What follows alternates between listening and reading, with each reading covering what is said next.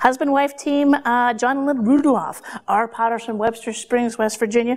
They retired home after 30 years in Florida. And they do expressly what they call yard art a wonderful selection of bird houses, bird baths, toad villas, feeders, bottles, with an amazing price point starting around $24. They use a sturdy earthenware, uh, they fire electrically, and are safe outdoors year round, uh, and we can't keep them on the shelf.